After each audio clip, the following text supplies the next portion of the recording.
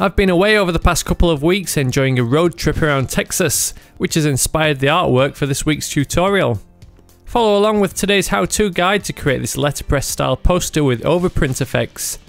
Authentic poster art of this kind would traditionally be created by hand on a letterpress print machine, where the transfer of ink from roller to paper would naturally create the texturing and overprint appearance.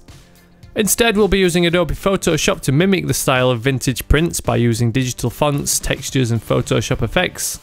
Along the way, we'll go over some useful techniques for creating type layouts, producing effects that realistically replicate the appearance of printed ink, and I'll show you how layer masks can be used to apply textures that make your clean digital art look like an authentic handmade print. So to create your letterpress style poster, begin by creating a new document in Adobe Photoshop. I'm going for a size of A2, which is 420 by 594mm. To keep the file size down, I'm using a resolution of 150 ppi. Typically, print artwork would be created in CMYK mode, but this will prevent Photoshop from realistically simulating the overprint effect. Instead, use RGB. I've used three fonts that are available in the Adobe Fonts library, so anyone with a CC subscription can use them. Follow the links in the description to activate them so they're all available in your library. Start typing out your quote by setting each word as an individual type element. My first word is set in the font WTR French Clarendon. Click the all caps setting in the character panel to set the text to uppercase, and change the kerning to optical to quickly fix most spacing issues. Scale it up to fit the canvas centrally. To easily find the middle, turn on snap from the view menu which will make the element stick when it's placed near the centre. The snap setting will prevent guides from being placed exactly at the letter edges. Turn off snap then drag out rulers to mark each side of the text.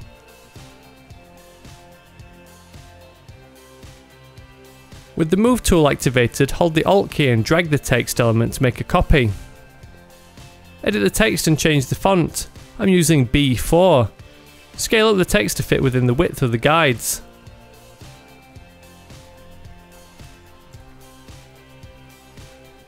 Align the top of the text to the bottom of the first word, then hold the shift key and nudge with the downwards cursor key to move it 10 pixels at a time. Doing so 5 times for 50 pixels will make it easy to match the spacing with the subsequent text elements too. Make another text element copy and change the wording. This time I'm using a script font named Casey for the word Texas, skipping the word in for now to compose a neat layout. The script font doesn't require the all caps setting, plus the spacing works best with metrics. This text element will be scaled to fit so the X height is aligned with a 50 pixel spacing, but the capital T overlaps the other word. In order to move the letters I and G to accommodate the word Texas, the text element first needs converting into a regular pixel layer. Right click on the layer in the layers panel and choose rasterize type. Select the rectangular marquee tool and draw a selection around those two letters. Hit command or control on Windows and T for transform.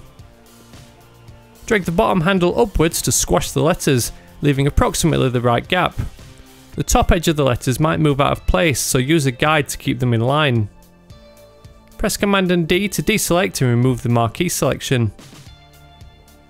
The final word can then be inserted into the remaining space, non-uniformly scaled slightly so it fits perfectly. Using guides makes it easy to keep everything lined up correctly. That's the type layout complete, so let's begin converting the design into a letterpress style print effect. Download a paper texture for the background. This is a brown empty old vintage paper background by Andrius Saz on Shutterstock. Open the image and go to select and all, followed by edit and copy. Close the document and paste the texture above the background layer so it sits below the text. Use the Command and T transform shortcut to rotate, scale and position the paper texture into place so it fills the canvas. Shift and click from the top text layer to the bottom text layer to select them all, then hit Command and E to merge them into one. If you want to work non-destructively to preserve your editable text elements, you could instead make a smart object. Add a solid colour adjustment layer and select a light blue made up of 100% cyan and 20% magenta. Hold the Alt key and click between this adjustment layer and the text layer underneath to create a clipping mask. Merge the two layers together with Command and E so the text is permanently blue. Distorting the crisp edges of digital art is a great way to replicate the appearance of old prints where the ink has bled and absorbed into the paper. Go to Filter, Noise and Median. Find a low value that subtly rounds off any hard corners without blurring the text too much. I went with 5 pixels. Next go to Filter, Distort and Ripple. Change the settings to large and adjust the amount to around 10%. These two filters are very subtle, but they help add to the retro print look. Change the blending mode of the layer to multiply to allow the paper background texture to show through. Ink that is applied to paper with a stamping motion tends to be thicker around the edges. A quick way to simulate this is to apply an inner glow layer style. Double click the layer to open up the layer style options. Click reset to default under inner glow, then bring up the size to around 50 pixels. The low 25% opacity will make this another subtle effect. Letterpress prints sometimes suffer from ink transfer issues that leave tiny uncoated areas. Originally this would be a fault of not applying enough ink, but it's become a popular aesthetic of old retro style print effects. To simulate this effect digitally, a texture image can be used. Apply a layer mask to the text layer, then download my free pack of photocopy textures from Spoon Graphics which you can find linked in the description. These textures have similar grainy effects with various grey tones, which when used within a layer mask will fade away and erase portions of the artwork to give it a tactile appearance. Open up one of the textures, I'm using texture number 1, then select all with Command and A, followed by Command and C to copy and Command and W to close the texture image. In the working document, hold the Alt key and click the thumbnail of the mask in the Layers panel to edit its contents. Press Command and V to paste in the texture, then click anywhere around the canvas to exit out of mask mode. The texture is fading out the text too much because the blacks and whites need inverting. Use the Command and I shortcut to switch them around, so the grainy details are the black parts of the texture that erase the artwork within the mask. To boost the effect, use Command and L to edit the levels of the mask contents. Bring in the highlights and shadows to increase the contrast, then find the right balance of grainy details and faded areas. Overprinting is a clever way to create interesting prints with limited colours. By applying one ink straight on top of another, it generates a third colour as the two hues are mixed. Printing two completely different image plates onto the same area generates great overprint effects. Add a new layer in Photoshop, we'll now create our artwork for the second colour. Use the marquee tool to draw a border across the top of the text. Turning back on snap will make it easier to accurately align it to the guides. Use a fill colour of red, made of 100% magenta and 100% yellow. Go to select and deselect or hit command and D to remove the selection. With the move tool, hold alt and drag a copy of the border. Keeping the shift key held too will keep it aligned centrally.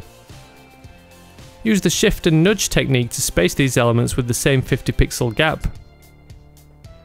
Since this artwork is all about Texas, a silhouette of the state outline would make a fitting image to the overprint.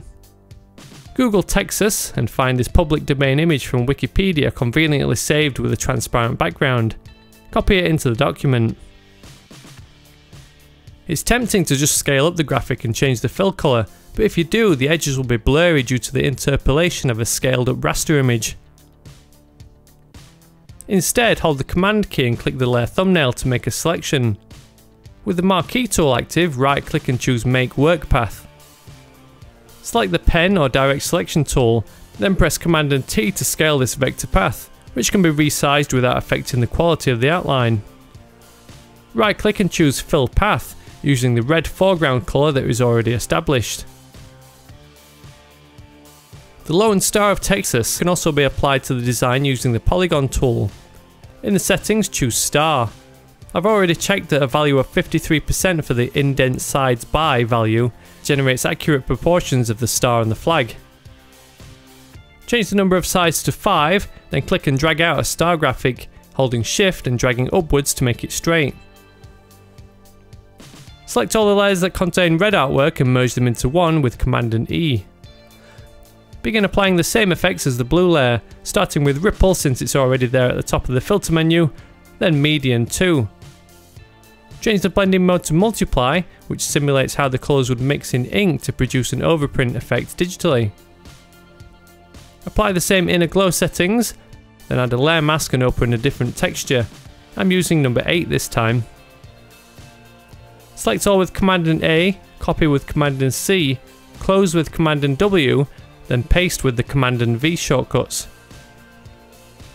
This texture contains some blotches which will show up within the artwork, so quickly use the healing brush to remove them. Click away from the canvas to see the mask in action. Invert the colours with Command and I, then alter the levels with Command and L. If you need to move the texture independently of the artwork, click the little chain icon to separate them. Then you can use Command and T to move the texture around to find the best spread of details. The final result is a colourful overprint poster with letterpress print effects. While this kind of poster art would traditionally be handmade with old printing methods, we can simulate the effects of ink transfer and bleed with a few Photoshop filters and textures. If you enjoyed this tutorial or learned any new tricks, be sure to give the video a like. If you like the look of this design, consider picking it up as a t-shirt from my T-store. Subscribe to the Spoon Graphics YouTube channel to stick around for more, and be sure to sign up to my newsletter to bag yourself all my free design resource downloads. As always, thank you very much for watching, and I'll see you in the next one.